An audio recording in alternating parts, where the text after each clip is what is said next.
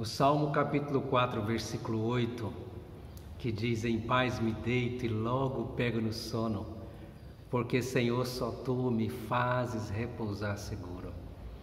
Me recorda da minha mãe, que sempre gostava de ler esse salmo antes de, da gente dormir, lia para gente, para mim e para minha irmã Kênia, e dizia na, na sua oração, né? Em paz me deito e logo pego no sono, porque Senhor só tu me faz repousar segura.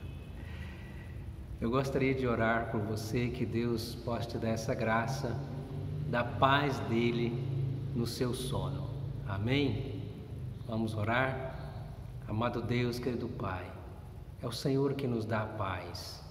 Ó Deus, seja quando estamos acordados ou para dormirmos, a paz do Senhor esteja no nosso coração e possamos dizer, como Davi no Salmo de número 4, versículo 8: Em paz me deito e logo pego no sono, porque Senhor só tu me fazes repousar seguro.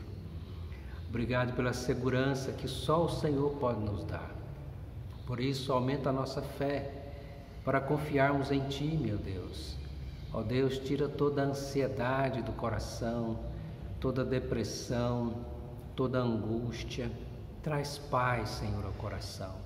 Em nome de Jesus eu te peço por essa pessoa que ouve, ó Deus, esta mensagem, esta oração, que o Senhor derrama da tua paz, ó Deus, trazendo segurança, ó Deus, e alegria do Espírito Santo, ó Pai, ao seu coração.